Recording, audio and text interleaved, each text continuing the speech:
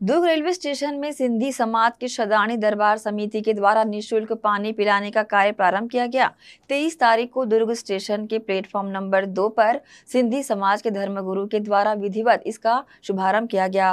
विगत लगभग 14 वर्षों से समाज के द्वारा इस सेवा कार्य को गर्मी के मौसम में आयोजित किया जाता है। भीषण गर्मी के मौसम में निकलने वाली ट्रेनों के यात्रियों को ट्रेन में ही पानी उपलब्ध कराया जाता है।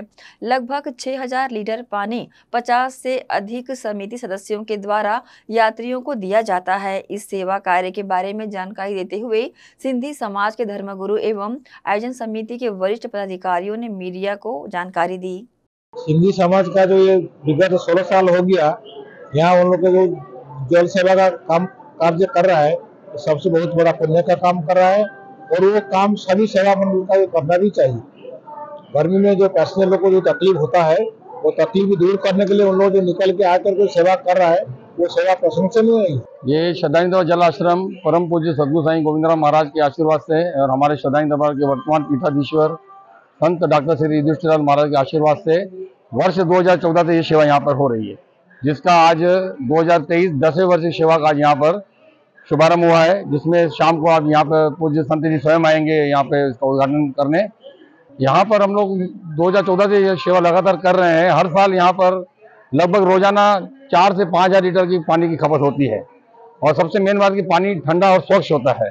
विशेष रूप से हम लोग ट्रालियों के माध्यम से जनरल बोगी यात्री जो भीड़ के कारण नीचे नहीं उतर पाते हैं, उनको उनकी बोगी तक जल पहुंचाकर पिलाते हैं और स्लीपर बोगी में भी जल पहुंचाकर लोगों को पिलाते हैं। लगभग यहाँ पर रोज़ाना 50 से 60 सेवादारी हम लोग अलग अलग ग्रुप बनाकर सेवा करते हैं। सुबह आठ बजे ये जलाश्रम की सेवा शुरू होती है तो लगातार शाम छः बजे तक चलती है यहाँ पर इसमें अलग अलग ग्रुप बनाकर सेवा दी जाती है यहाँ यहाँ पर जो लोगों का उत्साह है जो यात्रियों को जल मिलता है, वो तो बड़े खुश होते हैं पानी लेकर और उनको जल पिलाने वाले सेवादारी ज़्यादा खुश होते हैं। ये यहाँ उत्साह का बड़ा माहौल रहता है।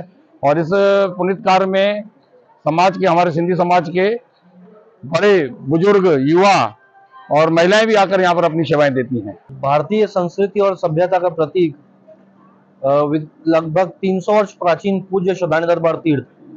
और वहाँ के वर्तमान गद्दी नशीन परम पूज संत युधिष्ठिर लाल जी महाराज, उनके दिशा निर्देश और उनके आशीर्वाद से विगत पिछले 16 वर्षों से दुर्ग रेलवे स्टेशन पे शदानी जल आश्रम की सेवा पूरे समाज की ओर से और शदानी सेवा मंडल की ओर से लगभग दिन में, पूरे दिन भर में 6000 से 7000 लीटर पानी और लगभग 80 से 100 वॉलेंटियर्स के माध्यम से ये सोलवा साल जल की सेवा प्रारंभ है।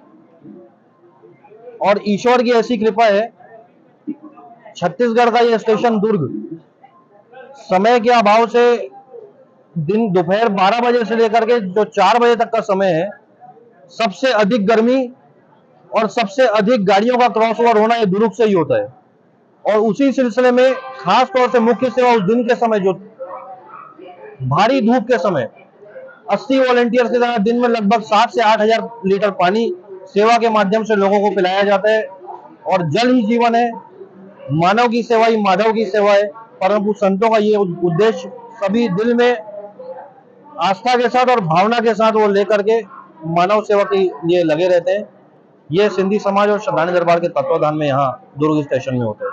परम पूज संतों का यह उद्देश्य जो मैंने दोहराया और फिर से दोहराता हूँ, मानव की सेवा ही माधव की सेवा है। इंसानी जात की सेवा, मानवता की सेवा यह सबसे बड़ा धर्म है। इससे बड़ा ना कोई धर्म हो ही नहीं सकता और ना कोई धर्म है। ये परम पूज संतों का आशीर्वाद हम सभी पे और उसी उद्देश्य पे हम सभी चलते हैं। इंसानी जात का भला होगा, प्रदेश का विकास होगा और देश का विकास होगा।